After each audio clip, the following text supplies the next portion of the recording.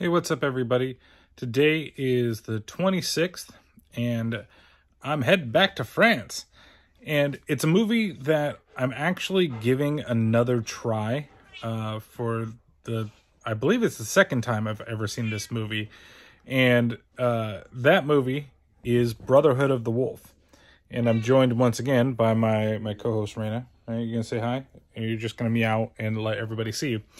Um, so Okay, so funny story. I got to tell this story first. When we first went to see it, so this was in college. So this was quite a while ago. I went and saw it with a bunch of friends because we saw the trailer and we were like, "Man, that looks like fun. That looks really cool."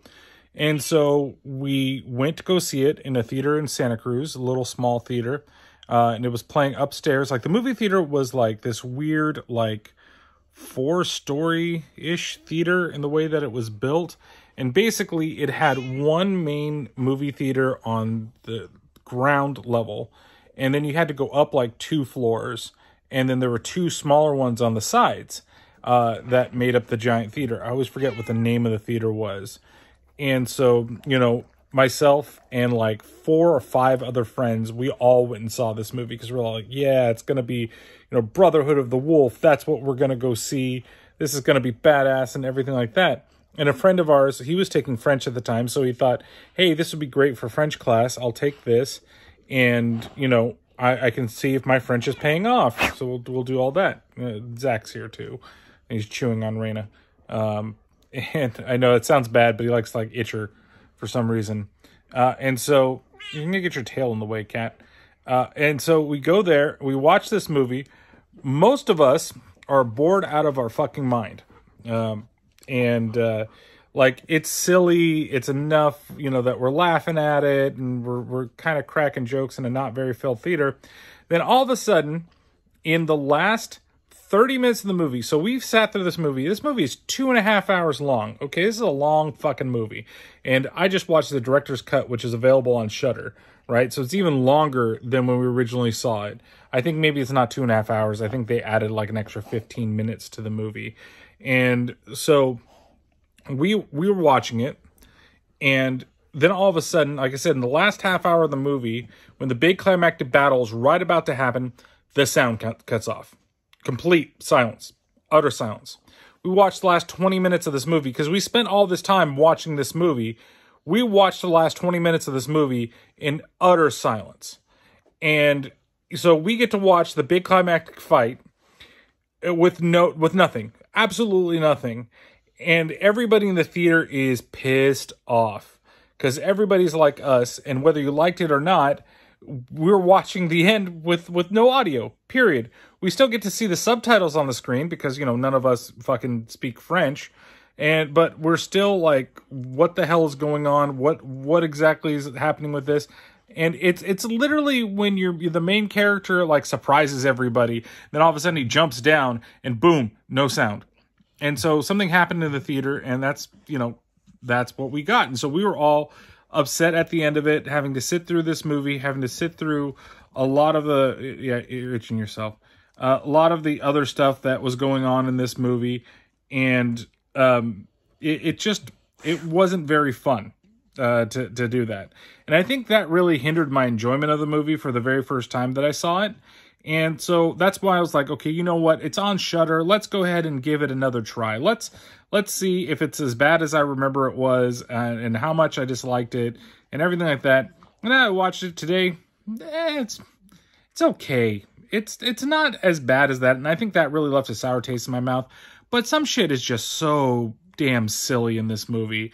Uh, the fact that there's like it's you know a period piece, but we've got martial artists. We got a uh, Filipino, Chinese, Hawaiian guy that's playing a fucking Native American over there, uh, and speaks perfect French. But at least they explained that. And actually, the the guy that plays him, it's Mark something, starts with a D. He actually learned how to speak fluent French for this movie, which is pretty cool because he's American. But it's just like okay, see now Ace is is busy licking her, um, and, and like I said, like the story isn't bad okay? It's it's not that bad and it's about them going into a rural countryside of france being sent by the king because there's this beast that's killing a bunch of people and he wants the the beast dead right? And stop terrorizing the countryside and stuff like that. But even the first kill in the movie is so goddamn silly like I even laughed out loud. With the lady, and it's like all dramatic, and she's like, "Oh, I'm being, I'm being attacked by the beast," and she's being dragged around, then slammed against the rock, and slammed against the rock, and slammed against the rock, and it's just like I said, there's just so many just silly things like that the action pieces are cool, right? This is not necessarily like a straight up horror movie. This is like a horror action movie. And you can't say that this is some artistic fucking masterpiece because this is like a generic action movie in France. That's what it feels like. Not like a generic, but I'm just saying, like, you know, you go see a superhero movie, not all the superhero movies are going to be fucking deep. You know, like you go see Black Adam, it's nothing but fucking action and the story is nonsensical. Now, at least the story in here makes sense for everything that's going on but it's just like some of these set pieces are just so bad and they're so funny and especially like the last like big climactic fight and even the last big climactic thing with the beast is pretty bad too. You know how we get to this point what we find out what the beast really is and all this shit and you think it's a werewolf the entire time and ain't no fucking werewolf and i don't know why they call themselves the brotherhood of the wolf when really the title i think refers to not them but it refers to our two main characters you know, uh, I, I can't remember either of their names because it's French. Well, I know Mani, uh, who's the Indian or Native American or Iroquois. Um, and, you know, his, the, the main character, main character of the movie that, you know, can love somebody so much, but I'm still going to go and sleep with a whore you know, in a brothel constantly. But don't worry, I'm going to come back to you. I'm going to love you. And then you're going to be like, oh, yeah, you love me too. Oh, you slept with that woman, but you constantly were speaking my name in your sleep? Oh my God, that means we're in love and everything's great, even though you were constantly fucking somebody else. Like, shit like that. That just happens in this movie. So, you know, like I said, it's not bad. It's not great you know, I think it's just an average movie with some laughable things. If the things weren't laughable and it was just bad, bad, I, I wouldn't give the rating I'm going to give it, which is three out of five chain swords. You know, if you know what I'm talking about, you know what I'm talking about. And that was uh, inspired actually by Ivy from Soul Calibur too. It's not like they. Uh, when I remember when I saw, I'm like, hey, this reminds me of Soul Calibur, and it literally, you know, came from that too. So, you know, again, it's on Shudder. Yeah, there's a lot of people that really, really, really love this movie, and I just don't get it. I really don't. Like I said, I don't think it's terrible. I don't think that it's the best movie that I've ever seen. You know, I just think that it's kind of mediocre, and it like it has good some good fight scenes in it, and uh, it it does not have CGI that holds up. Um, this CGI just does not hold up at all.